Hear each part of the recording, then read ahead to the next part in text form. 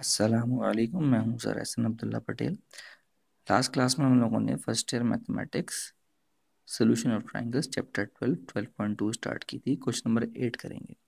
अगर a piece of plastic strip one metre long, plastic strip जो है, वो वन मीटर लॉन्ग है is to bend from an isosceles triangle इसको bend करके इसको मोड़ के हमें बनाना है एक आइसोसलेस ट्राइंगल आइसोसलेस ट्राइंगल वो ट्राइंगल होता है जिसमें दो साइडें इक्वल होती हैं। जब दो साइड इक्वल होती हैं तो ज़ाहिर सी बात है दो एंगल्स भी इक्वल होंगे। वो कह रहा है इसका जो लार्जर एंगल है वो कितना है? 95 डिग्री वो कह रहा है बकिया साइड्स की लेंथ निकालो। तो हमने वन मीटर की जो स्ट्रिप है, इससे हमने एक ट्राइंगल बना लिया। जिसमें हमने लार्जर एंगल जो है वो कामा ले लिया सी पे। तो बी के सामने वाला बी नहीं पता ए के सामने वाला ए नहीं पता और सी के सामने वाला सी नहीं पता। ना ए पे अल्फ़ा पता है, ना बी पे बीटा पता है। बस हमें इतना पता है कि ए और बी बराबर है क्योंकि लार्जर एंगल हमने 95 को लिया है तो लार्जर साइड भी सी होगी। ए और बी क्यों बराबर लिया? क्योंकि आइसोसलेस ट्राइंगल है। जब ए और बी बराबर है तो ऑब्वियसली बात है कि उनके एंगल्स भी बराबर होंगे। Because it is an isosceles triangle और गामा कितना दिया हुआ है हमें? 95 डिग्री एक और बात गिवन है कि हमने जो मोड़ा था, वो एक मीटर की स्ट्रिप को मोड़ा था। तो साइड्स की जो भी लेंथ होगी, उनका सम वन मीटर के बराबर होगा। जनाब एल्फ़ा हमें अननोन है। बीटा एल्फ़ा के बराबर है। गामा 95 के बराबर है।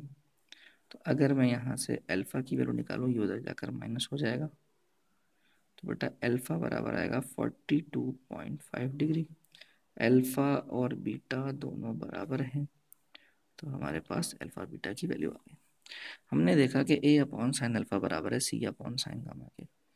अगर मैं यहाँ से सी निकालूँ तो ये सी बराबर आएगा a into sine gamma upon sine alpha क्योंकि मुझे गामा की वैल्यू पता है नाइन्टी फाइव और अल्फ़ा की वैल्यू पता है फोर्टी टू पॉइंट फाइव इससे होगा ये कि मेरे पास सी आ जाएगा इन टर्म्स ऑफ़ ए तो हम करते हैं sine ninety five upon sine forty two point five ये हो जाएगा one point four seven four a ऐसा करने से क्या हुआ? ऐसे करने से ये हुआ कि हमें ये बात पता है कि a plus b plus c equation one ये बराबर है वन के। तो a तो a b भी जो है वो a के बराबर है और c कितना है? One point four seven four a तीनों को ऐड करेंगे हो जाएगा three point four seven four a इसमें हमने टू ऐड कर दिया। Three point four seven four हो गया।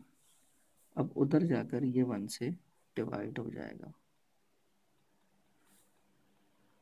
तो ए बराबर आएगा इसका inverse that is zero point two eight seven metres तो बेटा जितना ए है, उतना ही बी है।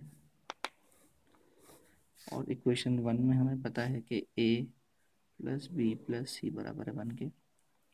तो ए प्लस ए प्लस सी बराबर है वन के तो सी बराबर है वन माइनस टू ए के हो जाएगा one minus two into zero point two eight seven हो जाएगा one minus two a zero point तो जनाब सी आया zero point four two four metre. अल्हम्दुलिल्लाह ट्वेल्व पॉइंट टू हमने ख़त्म की।